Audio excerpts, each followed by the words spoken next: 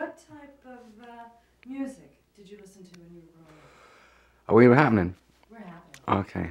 Well, um, I was raised in um, Malta, so I would listen to the American Forces Network and hear Nat King Cole, Lena Horne, Billie Holiday, that kind of thing, up until I was um, a teenager. And then I was in England, and um, I had a correspondence with Stax, Volt, and Atlantic, and they would send me all the singles. So at that time, I was listening to um, Otis Redding, Sam and Dave, Wilson Pickett, James Brown. Still do. What uh, in, in in your growing up years, if you had to name an artist or a record that had the most influence on you, who do you think it would be, or which record?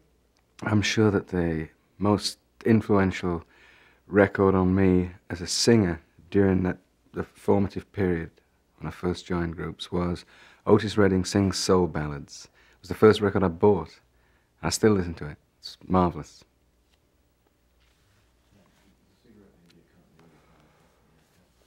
Okay. Um, will it be a problem for you to not smoke? No, it won't be a problem for me to not smoke. Okay, we can take a break at any point Okay. that you want to, and uh, smoke. I'm a smoker too, so I know what you need. Um, how did uh, how did you how did you figure out how to write Stax Volt and Atlantic and ask them for singles? I mean, Well, because in the local record store,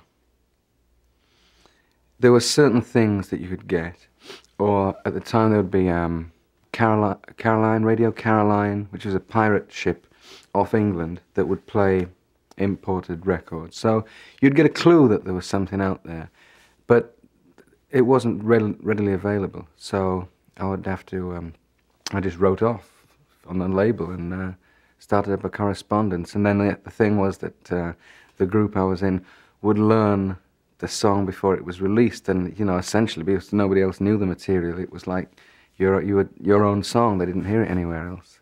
It was very exciting to be in that time where you had a line on a kind of music that was so exciting both to perform and to be in the environment of when it was happening, and the audience didn't know where it was coming from at the time. This is uh, 20 years ago.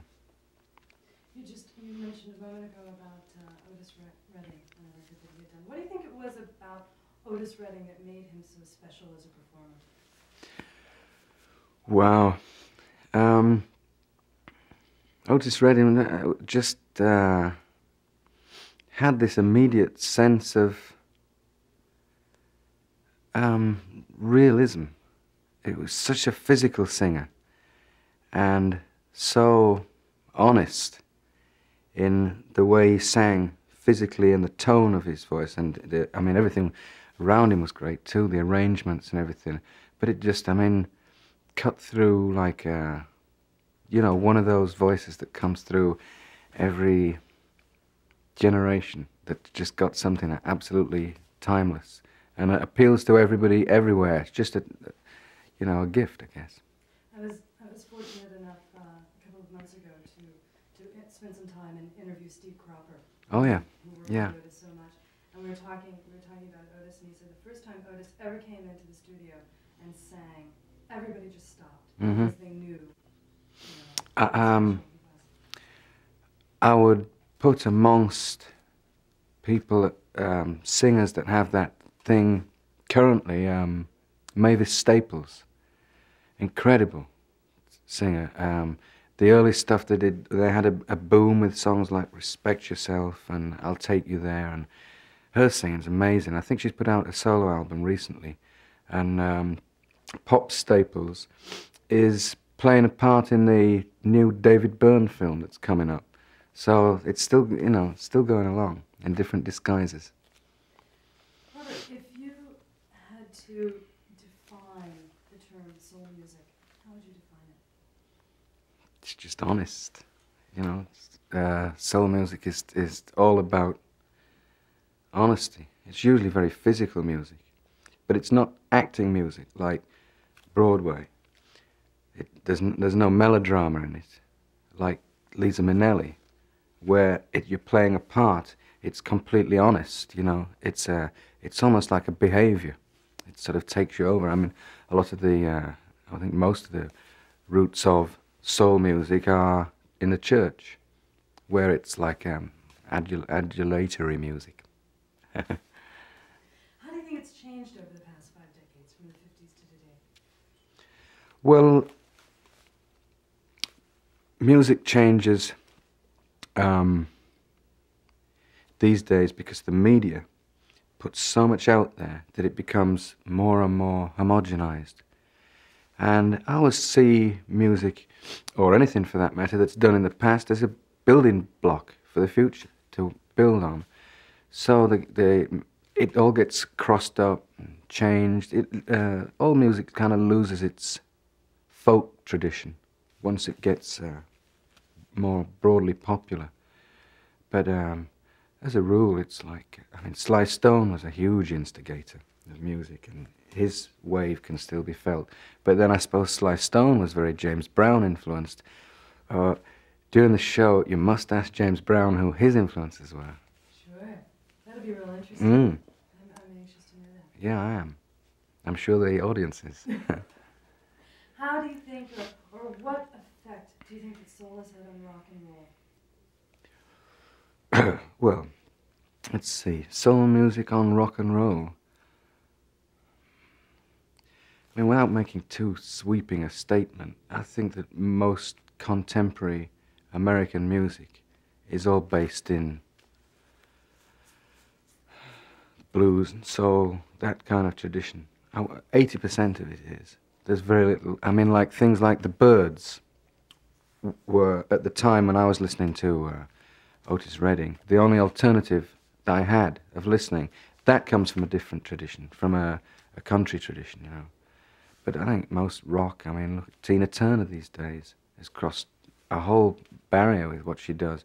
But uh, would you define that anymore as soul music? You know, it's um, Bobby Womack's probably one of the. Isn't his latest album called Soul Survivor? You know, it is. It is sort of like a, a folk art that's become homogenized. Not really that spoilt it. It just changes all the time, and makes a new building block for something else. you know. At uh, certain points, you know, people have been defined, certain artists have been defined as blue-eyed soul singers, from you know, the Righteous Brothers to Yeah. uh, uh, Hall and Oates Young, and even to you. Do you think there is blue-eyed soul? Do you think it's possible? I don't think soul has a color. You know, I mean, uh, if uh, white music's tradition is supposed to be based in opera or whatever, it doesn't make any sense at all. I mean, the tradition of music is built up from the environment that you're in and the sounds that you hear. You don't. It doesn't just come out of thin air. I mean, there are aspects of it do, you know, like the inspiration, but the actual sounds and everything, I don't think it's it's um, has any color at all. But um, the folk tradition certainly did. Like we were saying earlier, it's uh, definitely rooted in blues and gospel, and then you get add the rhythm, and you have rhythm and blues. What are your five favorite soul records? My five favorite soul records. are obviously, the one I was talking about earlier, um, Otis Redding sings soul, soul ballads. Then there's a riot going on, Sly Stone, if that's a soul record. Um, let's see. It's tricky because it's a narrow subject. Um, you should have asked me this in advance so I could, uh, you know, have written it down. But let's see, I'm sure I can think of some more. Uh, James Brown's album, The Payback, I particularly like. Um, two more. Gosh, well, I would say Chief Commander Ebenezer and his International Brothers, which is Nigerian music, but it's still soul music. And the fifth one, this is really weird, it'd have to be by a woman called Parveen Sultana, who sings Persian love songs and is just as much a soul singer as I am. That's interesting. Um, let's let's talk a little bit about um, James Brown. When, when, when was the first time you heard James Brown? Papa's Got a Brand New Bag is my first introduction to James Brown. And then over the years, I started collecting his records, and now I've got them all autographed too. When was the first time you met him? Um, I met James Brown in an airport in Brussels and asked him for his autograph. There's only one other guy I asked for his autograph. He's an author. Um, I've always caught his shows whenever I can. There's nothing like it, you know. In fact, I suppose there's only really him and Miles Davis, so I really, really, honestly enjoy live. Um, what, are, what are some of your other favorite soul performers? Well, when I was living in England, the Stax Volt Revue came to England, and I took off work and followed it round and saw Sam and Dave and Otis Redding and Booker T and the MGs. That was a real experience for me because I'd been a fan for so long, and to actually see it, it was just marvelous, you know, so moving. Are there any um, current new up and coming soul artists that you're aware of? Or would be looking to Um, yeah. Um, seeing as we were talking about how soul music now has a lot of different flavors, let's call it, I really enjoy um, Family's new album, the band that's associated with Prince. And the singer for Go West, I think, is a great soul singer. He reminds me very much of um, Howard Hewitt, the singer from Shalimar, who I, I guess would be more called maybe dance music, but it's fine lines to make the distinctions.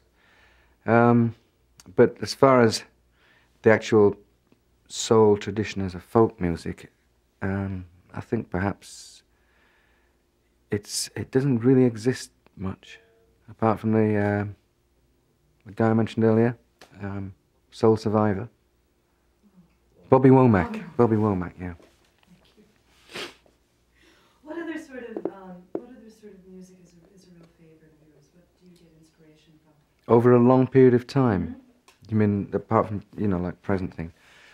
Um, African music, in general, I've been a collector of since I was twenty. Um, I worked with two African percussionists, and they taught me a lot of the basics at that time, and got me records from Nigeria and stuff. So, and since then, I've followed that a lot. I listen a lot to Middle Eastern music, singers. The uh, melodies drive me crazy. I find it the most romantic style. I also enjoy listening to Billie Holiday still a lot, and Astrud Gilberto, Carlos Jobim, that kind of music. That's my sort of staple diet. But I'm also a huge enthusiast for whatever's contemporary, in that um, I get sent a lot of music, or I go and buy a lot of it. But um, it's I, I just love to listen. There's always new links, and you hear new things come through, and somebody taking a piece from there and a piece from there and adding it all up and coming up with something completely fresh. It's always exciting, you know. What are you currently working on, Robert? Um, I'm looking to produce a band called Comsat Angels in uh, a month or so. Uh, I'm writing a couple of songs to finish off my next record project, which will be dependent on when I do that. It'll be whether or not I go on the road. I'm hoping to go out on the road uh, beginning of March through the US. So I'm looking forward to that. So I'm trying to juggle all these elements and get the timing right on them. Well, thank you for taking time and coming and talking to us. My pleasure. Cheers.